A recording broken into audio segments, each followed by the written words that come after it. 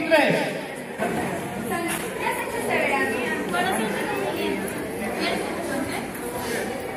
¿qué es ese verano? Yo una chica muy linda.